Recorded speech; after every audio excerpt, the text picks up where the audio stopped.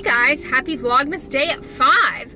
I am uh, gonna head in here to Ulta and see what's new in the realm of skincare. Um, hopefully I don't get kicked out. So you guys seem to enjoy it when I uh, tootle along in the store. So here we go. Okay, so this Philosophy Clear Days Ahead, um, it, this is a 1% salicylic acid uh, gel cleanser, okay? It's it's promising clear days ahead, clocking in at, um, I think 35, excuse me, 22 bucks for this 8 ounce bottle. Um, it's 1% salicylic acid. Neutrogena makes a uh, gel variant of their 2% salicylic acid. So basically, this one will probably be a little less irritating than the Neutrogena one, but will have a likely delayed onset of control of the acne, I would imagine, with a lower percentage. Um, so yeah, that's that's what you're paying for there, 22 bucks. And these um, $42 um, salicylic acid leave-on pads, they, um, basically the principle here is this is 0.5% uh, salicylic acid. So what they're, they're having you do here is prolong the contact time by leaving it on and using a lower percentage strength. But you, you should be aware that this doesn't do anything more than just doing a 2% wash, like the Neutrogena acne wash or the ZAPZYT acne wash you can get in the drugstore. So leaving on a lower percent strength of salicylic acid, you know, prolonging the contact time, it doesn't get you more expeditious acne control. Um, and at 42 bucks for these, I mean, that's not really sustainable for acne, period. Acne is a disease usually requires chronic management, so this is two months, 42 bucks. I don't know, seems pricey. Okay, I get many questions about this Purity Made Simple mask, um, if it's good. Okay, it's not, and here's why. This offers nothing that's going to give you any sort of pore or deep cleansing activity. All this is, is a mask with a boatload of fragrance and nothing more. It has a little bit of glycerin, which can be moisturizing, but there's so much fragrance in here and zero active ingredient. Um, this does nothing um, as far as uh, efficacious active ingredients. And it clocks in at uh, I don't know 25 bucks. Uh, the Neutrogena um, acne mask uh, the benzoyl peroxide one that you can either use as a mask or a wash is a far better and more efficacious uh, use of your time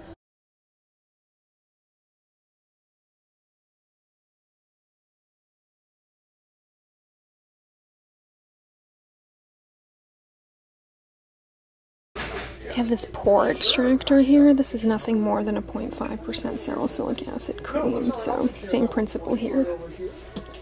Okay, I'm over here by the um, First Aid Beauty, and I actually do really like this Ultra Repair Cream. It's got um, uh, colloidal oatmeal in it. It's got ceramides in it. It's actually very good. The problem is it's very expensive um, and it doesn't really offer anything over CeraVe, but I do like it. It is fragrance free. Um, it also has licorice root extract in it, so if you're sensitive to that, uh, be aware of it. But licorice root extract can impart a brightening effect, um, as can changing the lighting, FYI, um, can impart a brightening effect. So I think that's part of the reason why people really like these first aid beauty products. Like this face cleanser, for example. One of you all sent me this, and I've really been enjoying trying it out. Um, this has a licorice root extract in it as well. But the oh so helpful uh, store clerk printed out pointed out this uh, is a popular product and oh look it gets the Allure Best of Beauty Award winner 2015 this is the Ultra Repair Instant Oatmeal Mask. This is a um, colloidal oatmeal um, based uh, leave-on moisturizer uh, leave-on mask with shea butter in it which is very moisturizing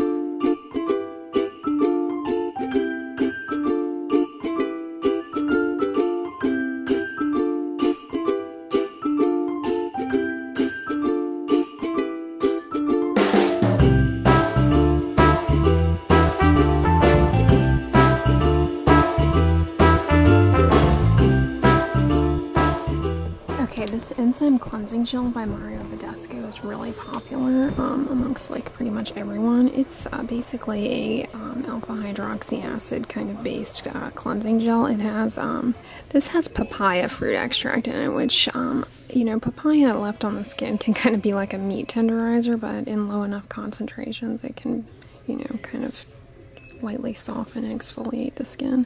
This also has a ton of fragrance in it though, um, so I'm not so so fond of that even though it was established in 1967. Um, since 1967, the rate of allergic contact dermatitis to fragrance has increased exponentially, so Mario needs to uh, go back to the literature and update his formula to exclude uh, fragrance. That would make it a far better product. Um, but it's actually not that pricey at 24 bucks. I'm surprised. Okay, Perricone has really gone out on a limb here with this uh, blue plasma cleansing treatment. Are you kidding? This is nothing but glycerin and blue dye, and it clocks in at $45 for four ounces. There's nothing in this worth a dime. Likewise, um, I think the Skin Cancer Association should uh, frown at this. He's charging 75 bucks for two ounces of SPF 30 with quote photoplasma. What a complete gimmick. No, walk away. Everyone always wants to know my thoughts on these MD lines, and I'm just going to come out here and say it. Don't fall for it. There's no part of my uh, training that involved um, making a chia serum, okay, or telling people to use a chia serum. So, um, you know, this is cosmeceuticals. People are, you know, entrepreneurial, and I applaud entrepreneurs, but that is what they are entrepreneurs, business people. So, yeah, I mean, to wash your face for $45 and then to use a serum for 105 and then a retinol cream for $85 when a prescription retinoid out of pocket it's probably similar and more likely to be efficacious by virtue of the fact that it's retinoid in its active state. Um, this is highway robbery here. I would never ever tell anybody to shell out this kind of dough. Chia serum? No, just walk away. Like chia, eat that. Don't put it on your face. Okay, so everybody wants to know what my thoughts are on the Body Shop's Tea Tree cleansing line. Um, I reviewed tea tree and skincare for you guys um, a few videos back, so make sure you check that one out. But, um, you know, it can be helpful for acne. It can also cause skin allergies, so be aware of that. And the Body Shop, I've tried their line before. Um, it's decent. It's not any more like blow me out of the water than any other tea tree face wash. Um, the Skinfood's one is is actually a little bit creamier and a, little bit nicer in my opinion, but people like the Body Shop because it's cruelty free. Um, so there's that, but um, they put fragrance in all of their products. Um, so yeah, do know that. Yep. But yeah, they also, so the Body Shop also has just like a straight up tea tree oil. Um, I would not go putting this on the skin. I don't know if this is diluted or not, but that can be very, very irritating. If you purchase this, make sure you keep it out of direct sunlight. Sunlight will degrade this and make it more irritating and problematic. Um, yeah, I would be careful. I use tea tree oil as a toilet bowl cleanser and it works quite well. I don't know that I would put the, the you definitely don't want to put the essential oil directly on your face. This DIY skincare facial oil stuff has got to stop with the essential oils. They can be really, really, really damaging to the skin. But like I said, it works great as a toilet bowl cleaner. this Strivectin um, anti-stretch mark, anti-wrinkle cream is a complete waste of 100 and, excuse me, a complete waste of, what are they charging for this? SD Advanced four and a half ounces, $139. This is a shea butter based moisturizer with a tiny, tiny amount of lactic acid. There's no way that this is doing anything for stretch marks. It is a complete marketing lie, okay? Please do not waste your money on this. I mean, unless you like it. Likewise, anti-aging, anti-wrinkle in this, there's nothing substantial. Similarly, they've concentrated it into a smaller tube and charged you more money for, quote, serum, so as to fool you into thinking that that's somehow more efficacious, and it's not. Likewise, I get a lot of questions about this, like, crepey skin and neck creams, and honestly, you know, this isn't going to do anything for that. Um, it All it has in it is this is another shea butter based moisturizer with a bunch of fragrance in it, and fragrance on your neck is probably more likely to cause irritation, potentially photoallergy, and actually worsen um, problems on the neck. So I would avoid this. Likewise, this neck rolling thing, um, skip that. That's a complete gimmick. As if as if putting a piece of expensive cold metal on your face is somehow going to like boost collagen. Please, your skin is a lot smarter than that. Okay, I'm over here by the Derma Doctor KP Duty, and I have to say, of this line, I actually really do. She's got, she, the Derma Doctor, has some really logical products with great ingredient selection, but I cannot back the price point um, in terms of of uh, being able to recommend this because it's not sustainable. And as I mentioned in my KP video, keratosis pilaris is a chronic skin condition. So if you find something in this line, how are you going to keep up with it? It's super expensive. Take this scrub, for example. Let's take a look at it. As far as body scrubs go, it's actually pretty low on the grit profile. I did mention in that video that a little bit of light abrasion, not too much, not too much scrubbing, can be helpful in lifting up some of those cells that aren't uh, exfoliating. And she's done a nice job here in creating this, you know, quote scrub so it's easy to understand what it's for. Um, and it's super, it's got a good moisturizing ingredients in it. And it also has a little bit of azelaic acid in it which is uh, what is in Finacea and it's good for kind of dissolving some skin cells so that's good. And it's also got a little bit of alpha hydroxy acid in it. I do think this is good. I really do. But unfortunately it is 46 bucks so maybe a treat but hard to keep up with Likewise, she has a $38 urea cream. You can get a urea cream in the drugstore for a far more affordable price. Likewise, urea is no more efficacious at kind of dissolving some of that bumpy stuff than um, ammonium lactate, which is what is in amlactin or lachydrin, which you can get at Costco for quite a deal. So, yeah, hard for me to back the price point up on that one. I have to say though, this product, the Calm, Cool, and Corrected product really saddens me because essentially what this is, is it's targeting people with seborrheic dermatitis, which can be really, really affect someone's self-esteem, okay? I've said that in my videos before. Scaly patches around the nose, face can be really hard to control a chronic problem, okay? And an active ingredient and a mainstay in seborrheic dermatitis control is something called zinc pyrithione. It's the active ingredient in anti-dandruff shampoos. She has created essentially an anti-dandruff shampoo here in a lotion form but she's charging 32 bucks for it. That is highway robbery. When all you have to do is buy Head and Shoulders, lather it up, let it sit on there, rinse it off, and the zinc pyrithione has done its job. Like, but if you're suffering with seborrheic dermatitis, I could see why this would be an easy thing to fall for. But at 32 bucks, just walk